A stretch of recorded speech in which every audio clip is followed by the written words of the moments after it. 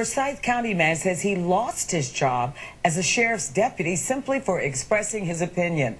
This afternoon, we are getting answers from the sheriff's office about why he was let go. All new at 6, Channel 2's Manuel Bojorquez is live in Forsyth County with the story's connection to Facebook. Well, Monica, Rodney Pirkle says it was last week he was told he no longer worked for the Forsyth County Sheriff's Department and was not given a clear reason why. He believes it has something to do with a Facebook post in which he threw his support to a candidate other than the current sheriff, uh, current sheriff Ted Paxton. Let's go.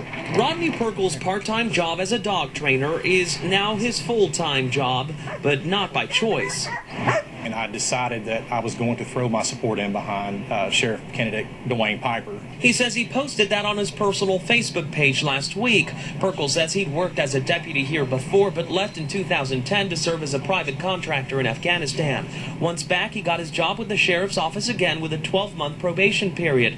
11 months in and days before the Facebook post, he says he received an above-average quarterly review.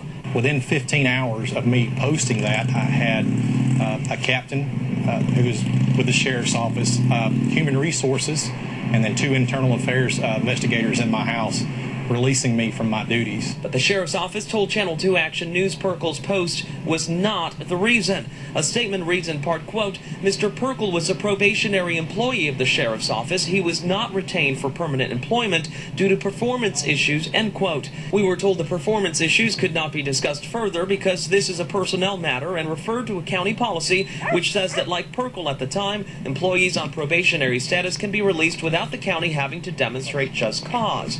I asked Pirkle what he would say to those who think he's playing an election year ploy. No one's putting me up to this. No, no one came to me and said, Rodney, will you do this and lose your job? And no, nobody put me up to this. No, this is. And the election for Forsyth, Can, uh, Forsyth County Sheriff happens July 31st. We're live in Forsyth County. I'm Manuel Bojorquez, Channel 2 Action News.